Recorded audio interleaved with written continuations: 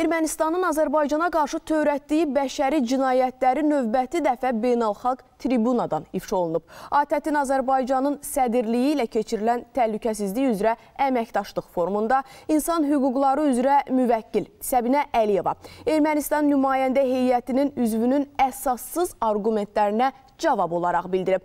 Bütün beynəlxalq humanitar hüquq normaları və insan hüquqlarını zid şəkildə pozan Ermənistan qəsdən qadağan olunmuş. SCAD Smerç, İskəndər M və digər ballistik raketlərdən, kasetli bombalardan istifadə etməklə mülki əhalinin sıx yaşadığı şəhər və rayonları intensiv şəkildə bombardmana məruz qoyub. Nəticədə mülki şəxslər həlak olub. Ha belə kütləvi dağıntılar baş verib. Ermənistanın Xocalı soyqırımı kimi dəhşətli bəşəri cinayətə imza attığını xatırladan Ombudsman Ermənistan-Azərbaycan münaqişəsi nəticəsində itkin düşmüş şəxslərin taleyi ilə bağlı indiyədək onların ailə üzvlərinə məlumat verilməməsinin beynəlxalq humanitar hüquq normalarına zidd olduğunu qeyd edib. O da vurğulanıb ki, 30 il ərzində işğal altında saxladığı Azərbaycan torpaqlarında kütləvi şəkildə minalama prosesi həyata keçirən Ermənistan tərəfi hələ də dəqiq mina xəritələrini verməkdən boyun qaçırır ki, bu da beynəlxalq